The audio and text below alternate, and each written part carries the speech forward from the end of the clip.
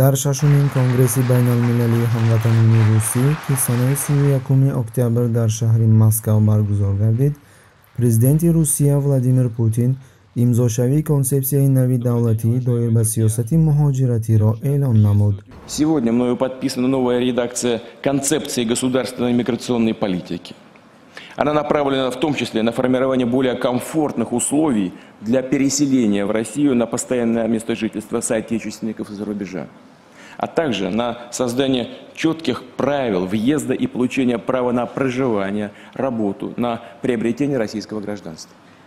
Многие проблемы, бюрократические барьеры в этой сфере, о которых справедливо говорили соотечественники, сняты. матни пурраи консепсия дар сомонаи кремл нашр шудааст. Мушоҳидон қайд мекунанд? Ба ғайр аз ин ҳама дар консепсияи нав як қатор чораҳо дарҷ гардиданд ки воридот ва ҷараёни ба қайддарории муҳоҷирони меҳнатӣ аз осиёи миёна дар қаламрави федератсияи русия боз ҳам душвор мегардонад.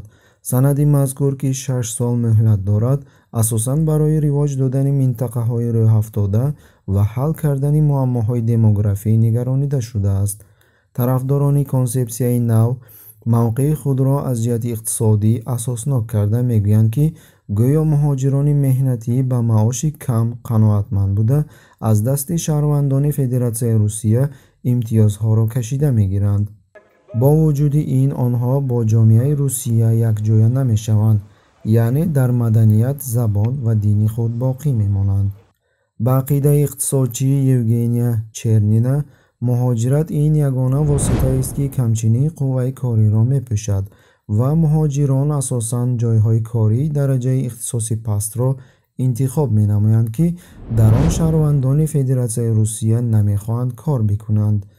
Аз ин лиҳоз кору фаъолияти муҳоҷирони меҳнатӣ ба маоши шаҳрвандони федератсияи русия зараре намерасонад.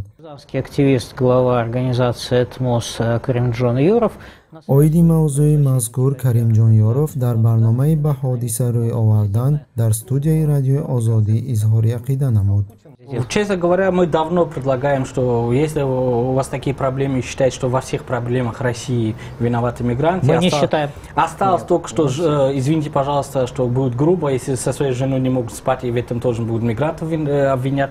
Э, я за то, чтобы ввели визу. Но в то же самое время я хочу, чтобы, например, из моей страны убрали чужую армию. Мы не хотим. Мы способны сами защищать свою родину. И не надо из нашей страны делать буферные зоны перед Китаем, перед Афганистаном или каким-то другим.